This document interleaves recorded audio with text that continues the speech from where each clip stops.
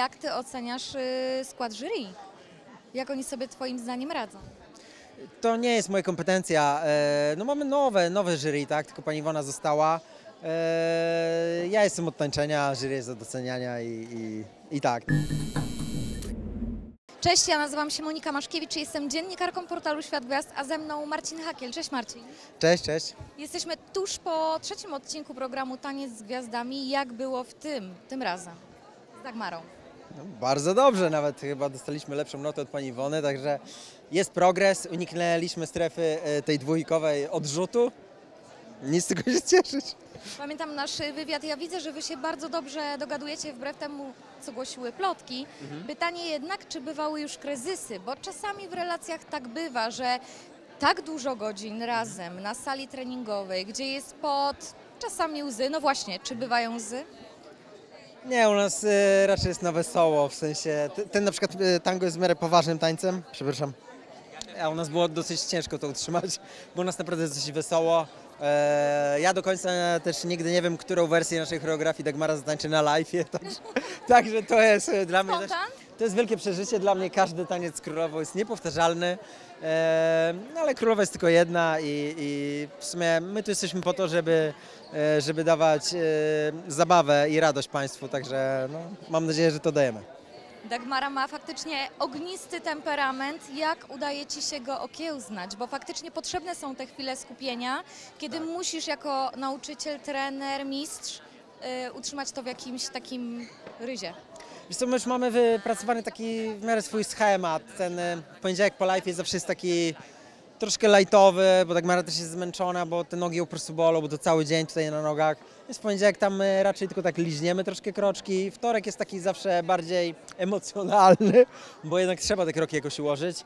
Środa jest przeważnie najtrudniejsza, bo wtedy dużo się dzieje, trzeba podomykać te, tą choreografię. Wtedy najczęściej właśnie Tomek i Michał, choreografowie tutaj z programu przychodzą, nam pomagają. No, czwartek, piątek to już też szlifujemy, a potem jest weekend i w studiu zawsze jakieś nowe innowacje tutaj nam się pojawiają w choreografii. Dzisiaj z programem pożegnała się pani Małgorzata Ostrowska-Królikowska. Czy ty się tego spodziewałeś? E, Wiesz co, to ciężko naprawdę powiedzieć, yy, yy, jakby ciężko jest cokolwiek tutaj przewidzieć, bo, bo wydaje mi się, że też yy, i głosowanie widzów jest nieprzewidywalne, ale tak samo yy, jurorzy i to chyba widać też po reakcji też publiczności czy, czy gwiazd, że też są nieprzewidywalni. E, No ale myślę, że dlatego ten program, program też tak jest e, chętnie oglądany właśnie, bo to są te emocje, ludzie po prostu nie wiedzą do końca, co się wydarzy. To prawda. Jako, że to jest e, pierwszy nasz wywiad po tych odcinkach live, e, to pytanie, jak ty oceniasz e, skład jury? Jak oni sobie twoim zdaniem radzą? To nie jest moja kompetencja. E, No mamy nowe, nowe jury, tak? Tylko pani Iwona została. E, Ja jestem od tańczenia, jury jest od doceniania i, i, i tak, na pewno nie będę tutaj e, komentował.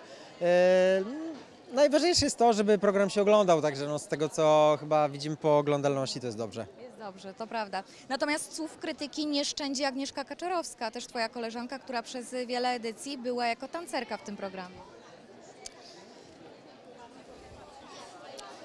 No wiesz, no, co tu dużo dodać, no. No jakby każdy ma prawo do swojej opinii. Agnieszka ma prawo do swojej, ja mam prawo do swojej. I Ale myślę, że bliżej tak to ci jest. Agnieszki, czy bliżej e, składu jury?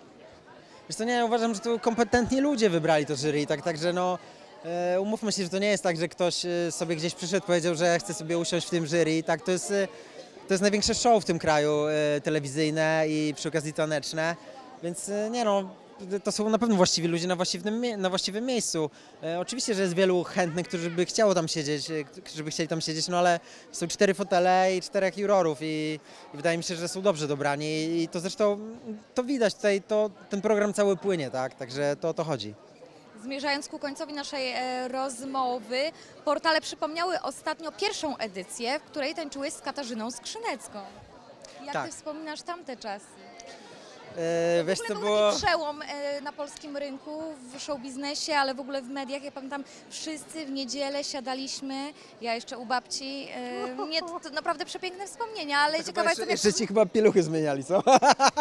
O, dziękuję za ten komplement. Taka młoda nie byłam, ale naprawdę doceniam, doceniam. Wiesz co, tak, pierwsza edycja na pewno była wyjątkowa, bo to było wszystko po pierwszy raz. e, Pierwszy raz się to wszystko działo.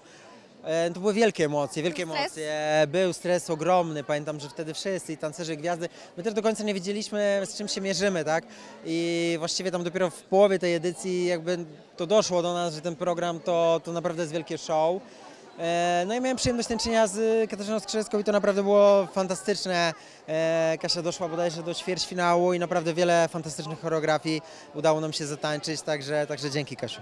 Pamiętasz ten pierwszy casting? No bo w jakimś, jakimś sposobem musiałeś się w tym programie znaleźć. Teraz to już wiemy, teraz to jesteś marką osobistą samą w sobie, ale ten pierwszy raz... Dziękuję.